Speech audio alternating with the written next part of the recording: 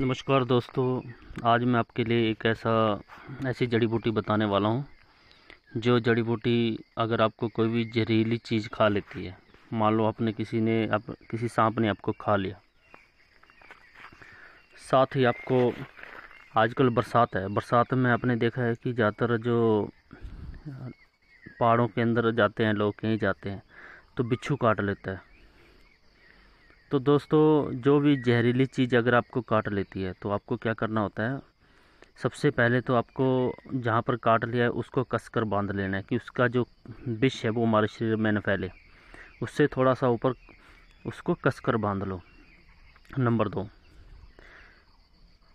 उसको फिर क्या करना है आपने चार चीरे मारने हैं। चार चीरे की चारों तरफ़ से काटना है। ज़्यादा नहीं थोड़ा सा काटना है, जिससे आपका खून निकल जाए। खून निकलने से क्या होता है, जो विष होता है, जहर होता है, वो बाहर निकल जाता है। अगर हमें बिच्छू काट ले तो क्या करना चाहिए? बिच्छू के लिए आज मैं आपको जो जड़ी बूटी बता रहा हूँ, बहुत ही उपयोगी है, बहुत ही लाभदायक है। शायद आप लोगों ने भाँग का नाम सुना होगा।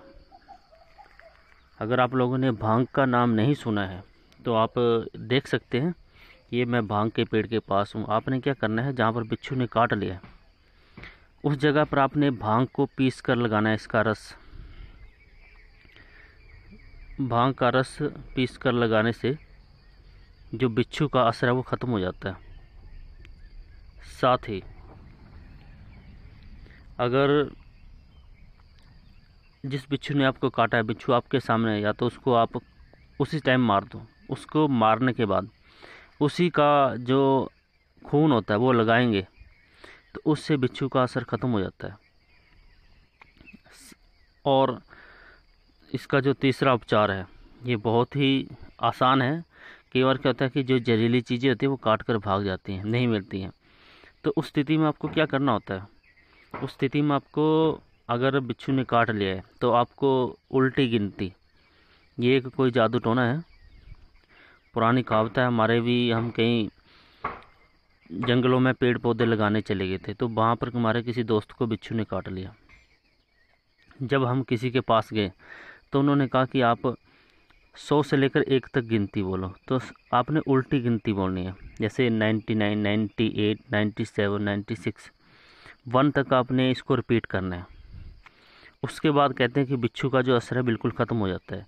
अगर तो भी ख़त्म ना हो तो आपने इस बूटी का यूज़ करना है। भाँग को पीसना है और उसको लगाना है वहाँ पर।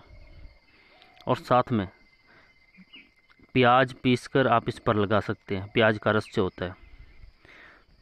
तो दोस्तों, आप लोगों ने आज सीखा कि अगर हमें बिच्छू काट ले तो हमें क्या करना चाहिए? तो दोस्तों, अगर ये वीडियो आपको अच्छा लगा तो प्लीज़ इस वीडियो को लाइक करें, शेयर करें, साथ ही मेरे चैनल को सब्सक्राइब करें। जय हिंद, जय भारत।